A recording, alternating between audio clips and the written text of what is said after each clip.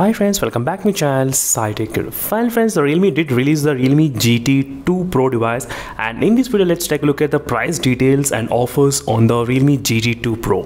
So this is a phone which has been released with a Snapdragon 8 Gen 1 processor and which has got 2K resolution display and LTPO or 2.0 panel as well and the starting price of this phone will be about 44,999 after using the 5,000 instant discount offer.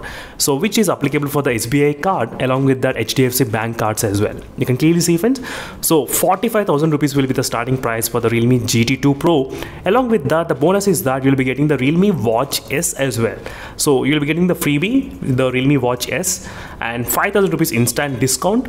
So overall like 10,000 rupees discount you're getting on the Realme GT2 Pro in case if you want to buy this phone in this kind of bundle that's a very good opportunity and first sale will be on starting from the 14th of April you can clearly see friends and let me know in the comment section below what do you think about this price of the Realme GT2 Pro so the closest priced another Snapdragon 8 Gen 1 processor is a Motorola Edge 30 Pro device, so which is also priced around 50k. But after using bank discount cards, you can actually get a really close discount up to 5000 even in the Motorola phone.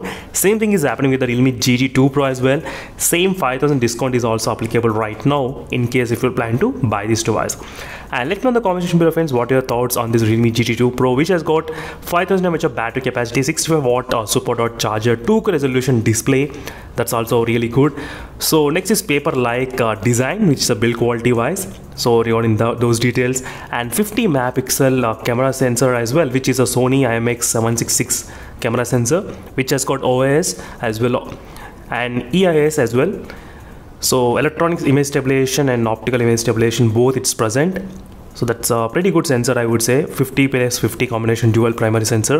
And 150 degrees ultra wide lens also present in this device in the realme gt2 pro. So meanwhile signing off friends thank you for watching. And the special type of cooling system also implemented in the realme gt2 pro device regarding maintaining the cooling temperature.